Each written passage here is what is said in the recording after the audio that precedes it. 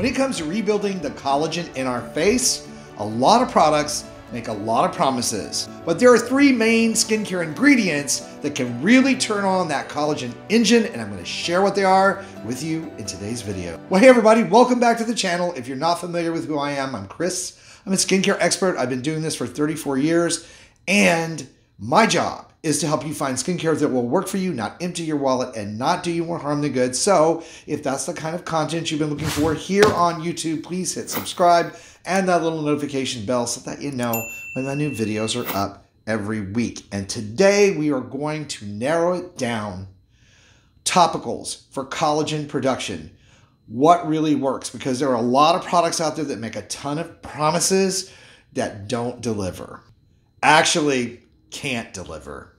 So, what are the best skincare ingredients that stimulate collagen production actually have the science behind them that work? Well, first is vitamin C. Yeah, good old vitamin C. That is so good for collagen production from the inside out, has absolute skincare superpowers when applied as a topical. And vitamin C serum in the form of L ascorbic acid, between 5 and 15% concentration has been shown to not only just help with protecting your skin from free radical damage and brightening out and evening your complexion, but it's actually been proven to be able to induce enzymes that help in collagen production, making it an even better for you anti aging ingredient. Now, if you've had issues or have issues using vitamin C in the form of L ascorbic acid, like irritation and redness, you can use a different type of vitamin C called magnesium ascorbyl phosphate, which is much milder to the skin. It's a stable form of vitamin C. It works very well. The caveat here is L-ascorbic acid is very strong and is going to work much more quickly, whereas sodium or magnesium ascorbyl phosphate versions, while they will work over time, it's going to take you about six months to really see the same kind of benefits.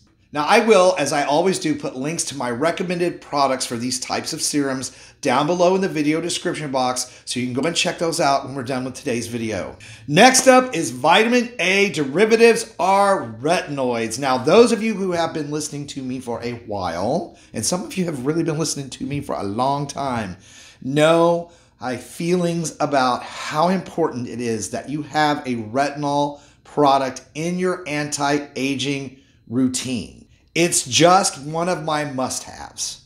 The scientific evidence, and it is an abundance of evidence, continues to show us that applying retinoids to the skin helps upregulate the genes and cells involved in production of collagen and helps to suppress collagenase synthesis, which is the enzyme that breaks down our collagen. The science has also been able to prove that OTC, over the counter retinol moisturizers, can work very, very well, just as well. They just take longer. These milder forms will give similar benefits to your skin, such as repairing photo aging, helping to fade out brown spots and hyperpigmentation, boosting collagen production, and lifting out fine lines and wrinkles. So while tretinoin can deliver some pretty good visible results in about a month, it's going to take these OTCs about six months to give you a similar effect.